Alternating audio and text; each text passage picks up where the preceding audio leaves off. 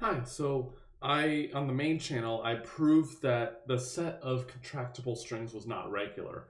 And we heavily used the fact that the alphabet had three different characters in it. So I want to uh, show that it's not regular even when there are two characters.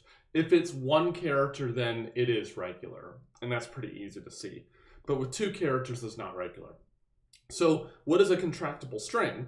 It's a string where we take a maximal substring, so I can't add anything after it, where all the characters are the same, of length at least two, and then repeatedly remove them, and I'm able to get the empty string. So here, I can remove the 1, 1 here, then um, I'll have 1, 0, 0, 1, as I do here, and then I remove the 0, 0, I'm going to be left with the two ones, and then the ones can be removed. So the thing that I remove is a substring with two characters at least of the same character. Um, if it was just alternating, like say 1, 0, 1, 0, etc., then uh, this is uh, not regu- uh, sorry, this is not contractible because every single uh, substring here uh, has exactly one character, and so I can't contract anything.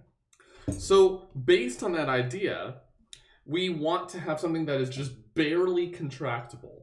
So what do we pick? So we're going to choose in the pumping lemma, we're going to choose the string 1, 0 to the P, 0, 1 to the P. So here, what does the string look like? So it's going to be 1, 0, 1, 0, blah, blah, blah, up to the last one, 0, and then it switches over to 0, 1s. So it's just barely contractible because the only thing that I can contract is this 0, 0 in the middle. Then the 1s are going to be able to contract, and then the zeros after that are going to be able to contract, etc. So how do you actually show that uh, you can pump this string out of the language? Well, what you do is you pick um, a decomp any decomposition in according to the pumping lemma rules, which says that uh, the the repeating part must be within this section right here, the one at the beginning. So then that means that if we use the same ideas in the in the main video, so if for any decomposition, uh, let's call it XYZ, we're going to look at the string uh, XZ.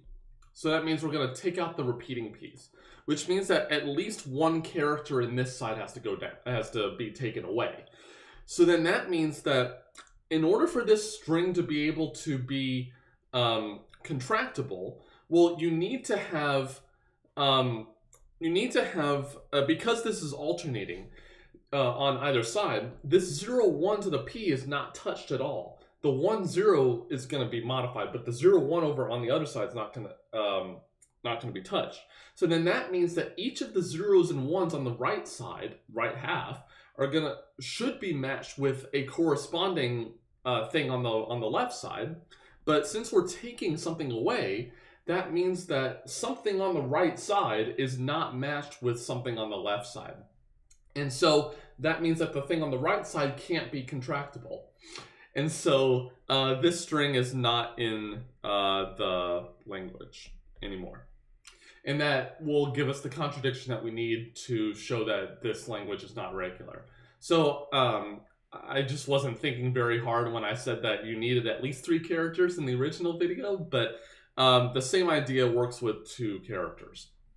Um, if you have one character, then it is regular because it just corresponds to all strings that are of length at least uh, two and or is the empty string. So every string other than length one, and that's easily shown to be regular. So hopefully that was interesting. Leave thoughts about contractible strings in the comments down below. As always, please like the video and subscribe to the channel. It really helps us out. There are many other links in the video description to support the channel further. And as always, thanks for watching, and I'll see you next time.